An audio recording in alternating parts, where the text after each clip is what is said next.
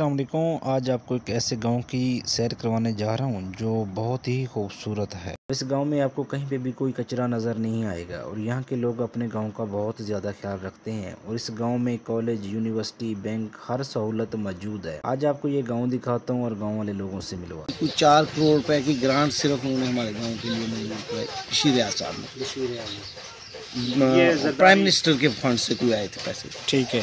तो उससे ये जो रोड ये बड़ा नैरो रोड था लाइक टेन फुट का था ये वाला। ठीक है। और ये फिर एक्सटेंड हुआ सारे गाँव के कारपेटेड रोड बने सीवरेज डेवलप्ड बना और ये जो इलेक्ट्रिसिटी के पोल्स और सारे मामला ये फिर तय पाए ठीक है सर ये डेवलपमेंट हुई उस वक्त। उसके बाद फिर सेकंड फ़ेज़ जब बेनज़ीर साहबा का आया जी sir. I think ninety six या नाइन्टी सेवन में तो फिर ये उन्होंने फिर तीन करोड़ की ग्रांट हमारे गाँव के लिए मिली। पहले चार तो, करोड़ की, की जी और ये सारा काम उन्होंने अपनी सुपरविजन में करवाया नहायत अच्छे तरीके से करवाया। गर्ल्स कॉलेज यहाँ पे हाई सेकेंडरी बनवाया उन्होंने। बॉयज़ का हाई सेकेंडरी स्कूल बनवाया। यहाँ पे हमारे वेटरनरी का डिस्पेंसरी है, जानवरों के लिए हॉस्पिटल मंजूर करवाया उन्होंने। ये सारे उनके जो काम थे, जिस वजह से ये सारे आज हालात आपको ये अच्छे नज़र आ रहे हैं। बना देना कोई भी बात नहीं होती। बने हर गाँव में रोड बड़े अच्छे हैं, हर गवर्नमेंट में बनाए हैं। बेसिकली हमारी जो डेवलपमेंट अथॉरिटी है देह की और गाँव की अपनी कम्युनिटी है, उन्होंने फिर इसको बहुत डेवलप रखा। सीवरेज के निज़ाम को हमारी साफ़ सुथराई के निज़ाम लोगों ने बड़ा मैनेज किया लोग बड़ा कॉपरेट करते हैं। अभी तक कर रहे हैं। अभी तक जिसकी वजह से आज माशाल्लाह हमारा गाँव जो है वो साफ़ सुथरा भी है और सफ़ाई को मेंटेन भी रखा है। इंफ्रास्ट्रक्चर बना लेना कोई काम नहीं। मेंटेनेंस तौर पर उसको मेंटेन रखना उसको उसकी असल हालत में रखना मेन काम है। जी सर।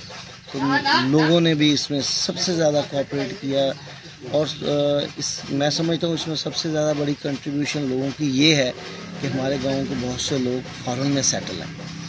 यूके यूएसए गल्फ में। तो वहाँ से तकरीबन हर घर का एक कोई फ़र्द जो है ना, कम अज़ कम कुछ घर में ज़्यादा भी फ़र्क, वो बाहर से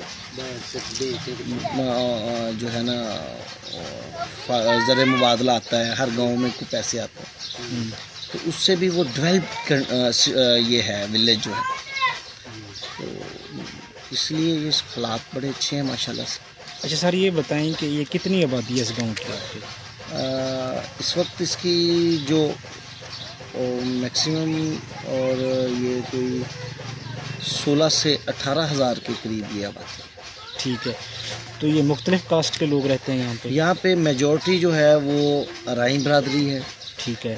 और इसमें अकलीती बरदरीों में फिर आ जाती है। जो तादाद में कम है गुज्जर और जट बरदरी हम्म। और दूसरी अंसारी बरदरी ठीक है। गफ़ारी बरदरी ठीक है।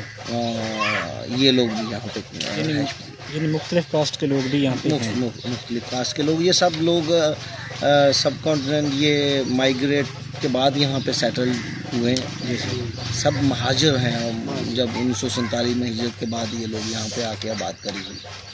तो यहाँ के बच्चे कुछ जिम्मेदारा वगैरह भी करते हैं? एग्रीकल्चर बहुत अच्छा है यहाँ पे। बिल्कुल करते हैं। बेसिकली सारा एग्रीकल्चर सेक्टर खुद काश्त है लोगों का। कितने परसेंट लोग पाकिस्तान से बह रहे हैं इस गाँव के? इस गाँव के तकरीबन मैंने जैसे आपको बताया कि घर के अगर चार फर्द नौजवान हैं तो नौ